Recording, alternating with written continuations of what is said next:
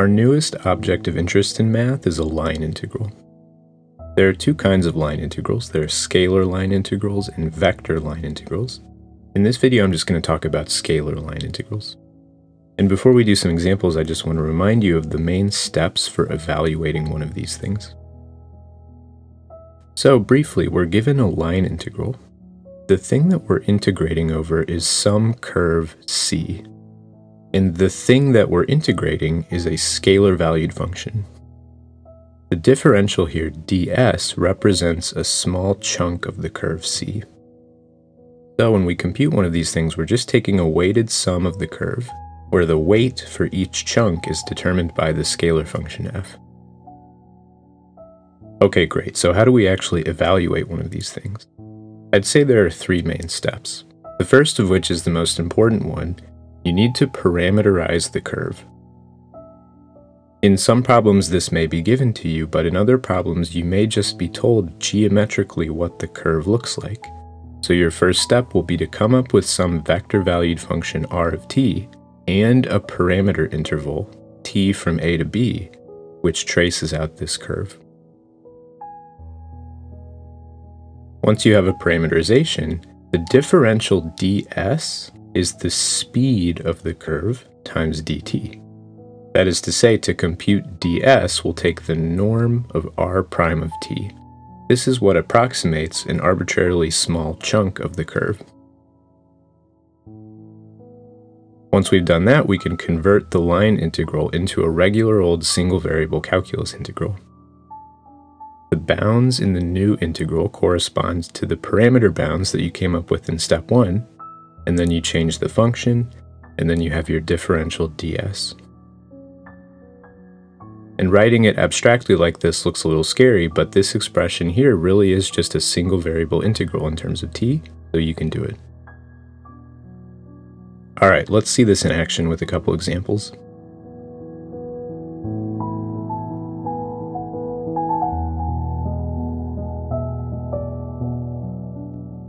This first example, we want to compute the line integral of xy over the curve z, where c is the portion of the intersection of two surfaces in the first octant.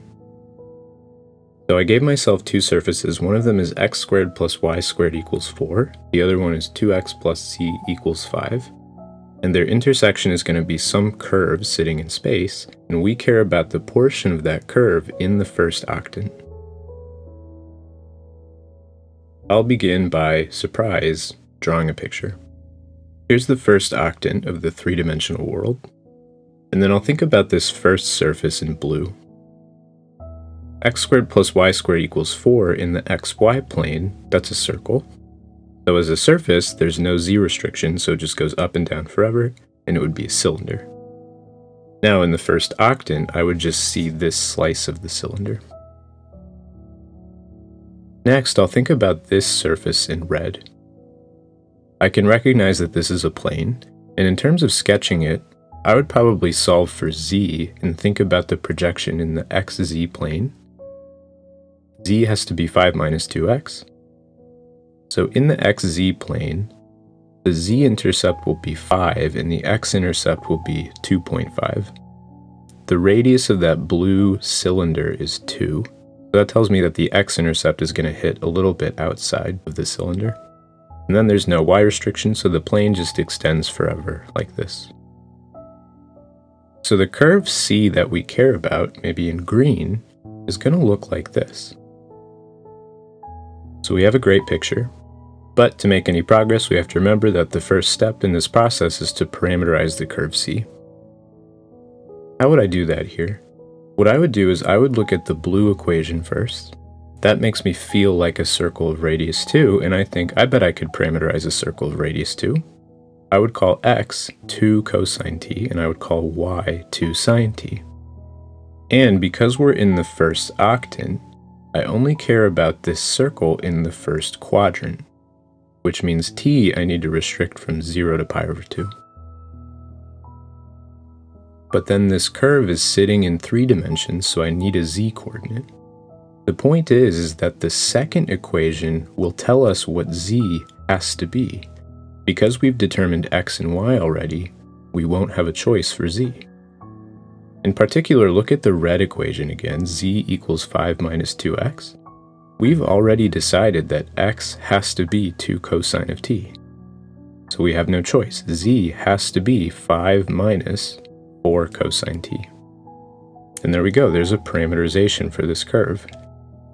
r of t is 2 cosine t, 2 sine t, and then 5 minus 4 cosine t, and the parameter domain is 0 to pi over 2.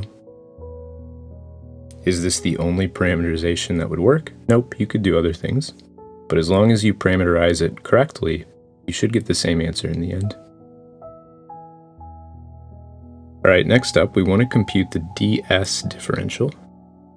Like I mentioned, ds is going to be the speed of our parameterization times dt. So that'll be the norm of r prime. r prime in this case will be negative 2 sine t, 2 cosine t, and then 4 sine t. And then taking the norm of that vector gives us square root of 4 sine squared t plus 4 cosine squared t plus 16 sine squared t. That looks horrifying, but we can simplify things a little bit. I'll do a bunch of stuff in one step. For example, I could factor out a 4 through the square root. That'll give us a 2 outside. Then, when I do that, we have a sine squared plus cosine squared. That's 1. So I could rewrite this as the square root of 1 plus 4 sine squared t dt. There we go. We're ready for step 3, which is to just convert the integral we started with into a single variable integral. So the bounds correspond to the parameter bounds. That'll be 0 to pi over 2. The integrand is x times y. Well, x is 2 cosine t, y is 2 sine t, so x times y is going to be 2 cosine t times 2 sine t. And then ds we computed in step 2, so I'll just pop that expression in there. We have a regular single variable calculus integral to evaluate. 2 times 2 times 2 is 8. Pull that out front. And then this specific integral can be handled with a substitution. For example, if we call u the inside of the square root stuff, 1 plus 4 sine squared t, du in that case, by the power rule, I'll get an 8, and then by the chain rule, sine of t times cosine t. Now that works pretty nicely because here I have cosine t sine t dt. So when t is 0, sine is 0, so u is 1. When t is pi over 2, sine of pi over 2 is 1, so u is going to be 4 plus 1, which is 5. We get the square root of u du, and then it's easy.